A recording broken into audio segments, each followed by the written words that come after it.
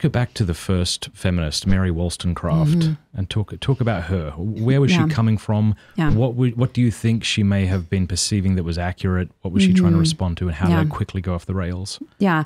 So Mary Wollstonecraft is is really fascinating because she's called the first feminist. Of course, the word didn't exist then, um, but I think what a lot of people don't realize is that she's actually responding in a lot of ways to what's happening with the French Revolution.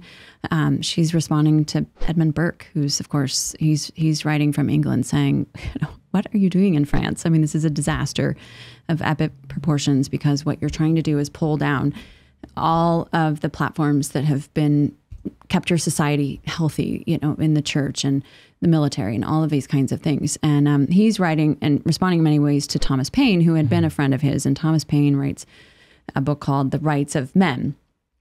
Well, Mary Wollstonecraft was a friend of his. Um, she actually met her husband um, through him, although they didn't get together until much later. But um, in any event, she's writing. Um, she write, first writes a book called "The Vindication of the Rights of Man." So it's- you take you know, play off of Paine's "Rights of Man," and then she writes a second one called "The Vindication of the Rights of Woman." And this is the book that really is sort of targeted as um, the feminist, you know, the first brick in the in the wall of feminism.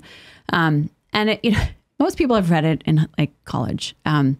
It is it's so hard to read. It's so unfun to read. It's just this emotional like scattershot. There's so much going on in it, and a lot of times you feel like like didn't I just read this? You know, she just there's a repetition, and I'm not the only one that said this. Even her husband, um, William Godwin, said this to her like, why did you write it so unsystematically? And, you know, she didn't respond till much later, but she basically said, you know, because I felt the passion was important and whatnot. So, anyway, the, the main thing that she provides, you know, the foundation for is this this idea, which I think you could call um, later became smashing the patriarchy, is this kind of envy directed at men um, to get rid of the hi- hi- any kind of hierarchy. So the church has to go, um, the military has to go, the monarchy has to go. Any anything that The family, Yeah. marriage.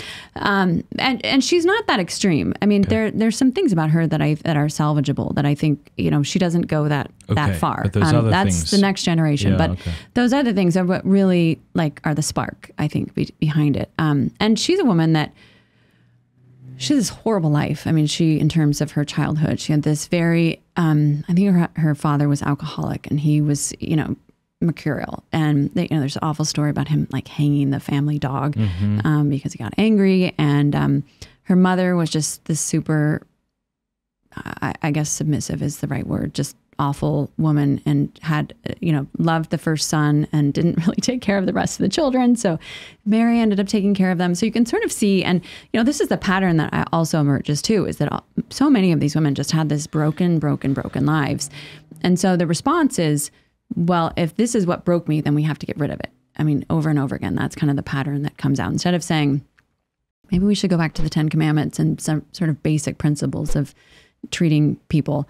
Um, and that's the other thing that I think is important is Wollstonecraft is responding in a way that she's trying. She's from you know the Enlightenment era, the Romantic period of that era. So she's trying to make her arguments without the Ten Commandments, without any reference to Christian morality. She's trying to sort of grasp at sort of pagan ideals and things like that too. So, um, anyway, yeah, I think there's there's a lot that Mary Wollstonecraft does. I think that um, you know, again, there are some certain things that she said that were fine. I mean, she was very focused on education for women and things like that that are obviously important. But um, so she's yeah, she's that foundation piece. Hey, thank you so much for watching. Before you go, do us a favor, leave a comment, let us know what you thought of the video, like, and subscribe.